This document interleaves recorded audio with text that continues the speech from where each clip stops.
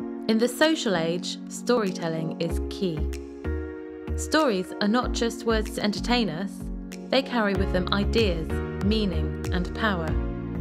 They can be a comfort, a provocation, or a call to action.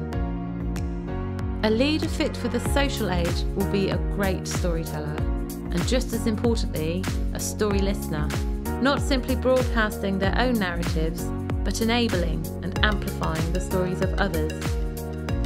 The Landscape of Stories is an online guided journey for anyone wishing to understand how stories work, how to craft compelling stories that fly, and how to build social movements behind their ideas.